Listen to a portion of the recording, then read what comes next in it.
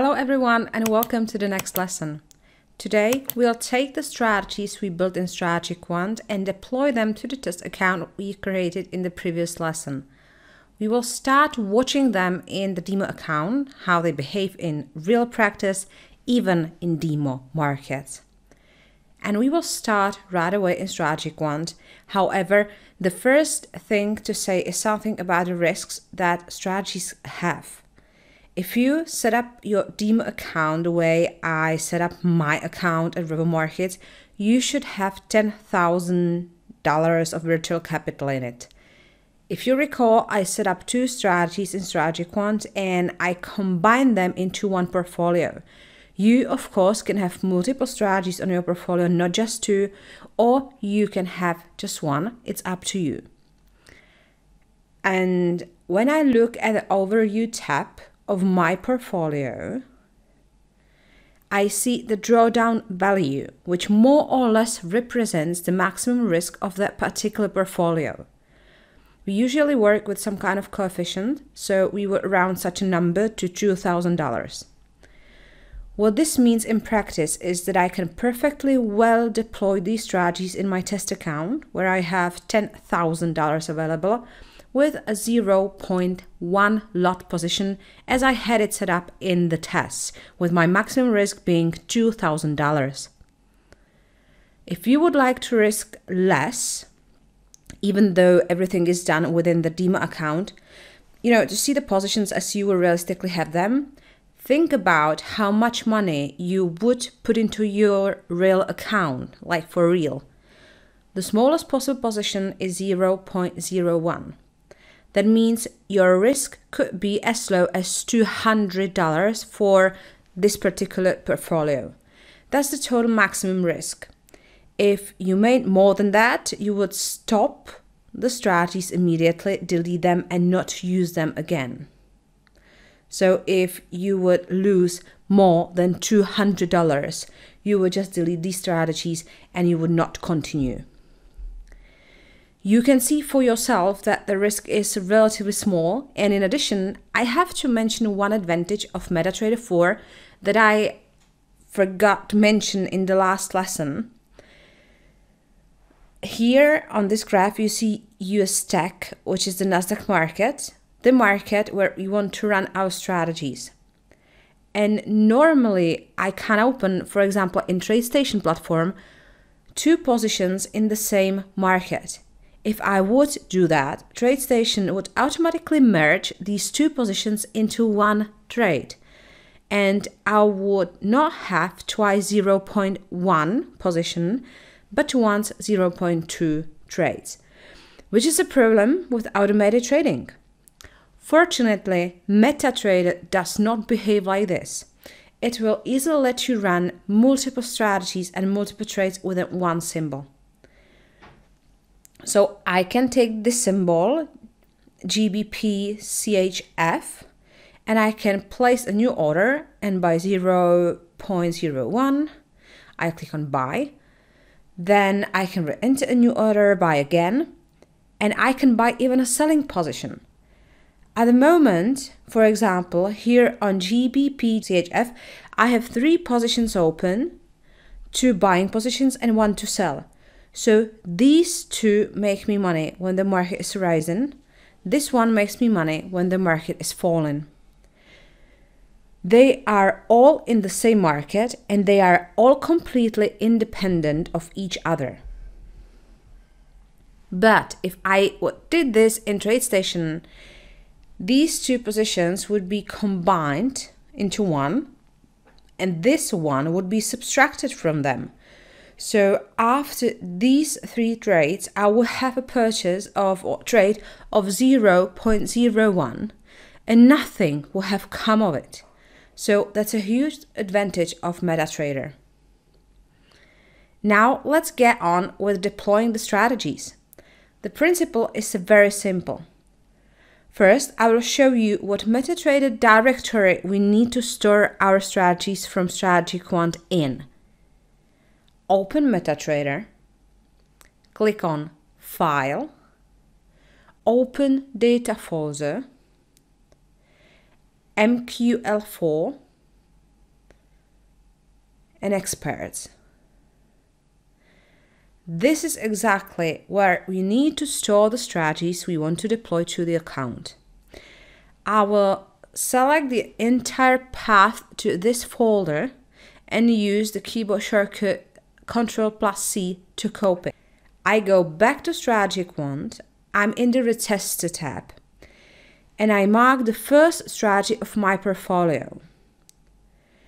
I go to the source code and select source code type Expert Advisor for MetaTrader 4, Save to File. In this window, feel free to select Don't Display this message again button, as this just kind of reminds me of the proper save instructions. In the file name field, I paste the full path I copied the moment ago because this opens the appropriate folder and now I just need to name the strategy. For example, NQ H1 1 like the first strategy. For the second strategy now, I have to do exactly the same thing. Only here I have the advantage that the folder where I saved the last strategy is automatically opened. So in this case, I just need to name the strategy again, this time as NQ H1 2. Now, the important step.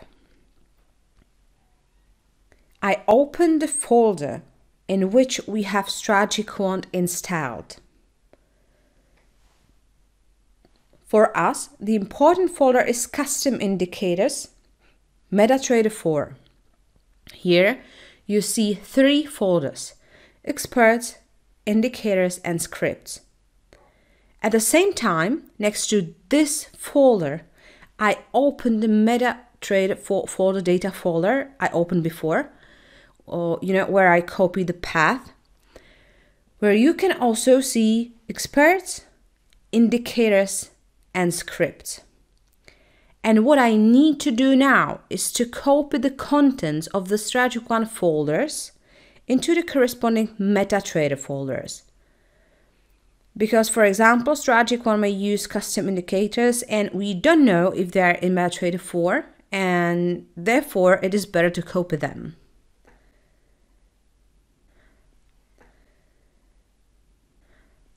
Okay, so all the indicators, all the scripts, all the experts are copied. And now in MetaTrader, in the bottom left corner, there is the so-called navigator. In the list, I find indicators and expert advisors.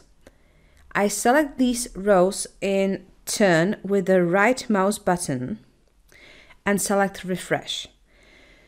This will refresh all the indicators that have to go through the compilation so that MetaTrader can handle them. It can take a while. The process is quite laborious MetaTrader may even crash at this, but this is something that can happen, so don't stress about it at all. Because even if MetaTrader does crash and shut down, when it restarts, everything will be fine. This may not seem completely trustworthy, but this happens almost exclusively within demo accounts and while setting it up. During real trading, uh, during live trading, in our experience, MetaTrader 4 is really the most stable platform we have ever had the opportunity to work with. You can even put it next to, for example, TradeStation. After I have restored the indicators and expert advisors folders, I open the expert advisors folder where I can already see my strategies. But what next? The strategies are for NASDAQ, or an NQ, and each broker may have a different symbol for this. Here in the market watch, you can see the different markets. And in this case, we are looking for US tech. Once I find it in the list, I drag and drop it to the main window. I will make it smaller, this window, because I need another room here for my second strategy. And if you have five strategies, you can open five windows this way. When I have two windows opened, I click on Window, tile horizontally or vertically. Because we are working with a one hour time frame, we have to switch to time frame H1 and we have to do that in both windows. And finally, let's open our strategies. Quite simply, I kind of grab the first strategy in the list, drag it to the open chart and drop it here. A window will open where I can find the settings. In the first tab, there is general information that the strategy was created in StrategyQuant. In second tab, we must remember to enable allow live trading, allow DLL imports, and allow modifications of signals settings. In the Inputs tab, the Custom Comment setting is very important. This is because during trades, you will see a notification at the bottom of the screen and in the comments column, you will know which strategy it is. We recommend choosing the comment the same as the strategy name. In this case, NQ H1 1. Another important thing is to set a so-called magic number. With magic number, you distinguish when analyzing which trade belongs to which strategy for example, using a tool like FX Blue, uh, this is very valuable thing. And in this case, I will simply choose the number one because it is the first strategy. I don't have to set up any other things and I click OK. I will now repeat the same process for the second strategy. Enable, allow live trading, allow DLL imports, and allow not modification of signal settings. In the inputs, I will set the custom comment to NQ H1 2 because it's our second strategy and the magic number simply to number 2. I save the settings. In the top right corner of each chart, you see a smiley face, which is not very smiley, it's like frowning, it's sad. So we have to click on auto trading in the top menu and the smileys are no longer sad, they are smiling, they are happy. That means the strategies are allowed to trade. If the exchange is currently closed, we just have to wait for it to open and the strategies will start trading. It is also possible to observe some additional information in the chart directly from StrategyQuant if you right click on the chart, select properties and set a black background. Now, some important things to know. You must leave StrategyQuant running. If you turn it off, the automated strategies will not trade. Likewise, when you close these charts, the strategies will not trade. If you change time frame, the strategy will start trading according to the chart, for example, M1. So, in a wrong way. Simply, as they say, let it be. Leave StrategyQuant and MetaTrader 4 as they are, let them work, and trade like that. Leave them like this for one or two weeks to see how everything behaves, how everything works, how everything suits you. Also, please don't rush the trades. Be patient. Strategies do not do a large number of trades because we want quality, not quantity. We don't need a thousand trades a week. We just want quality trades. When I get back at StrategyQuant and look at my portfolio, under the tab uh, Trade Analysis, you can see that this year 2022, both strategies executed 154 trade, trades, which is really three trades per week. And that's not a high number, so expect to wait longer for your first trade. Sometimes you can wait a day, sometimes a week. You will see for yourself.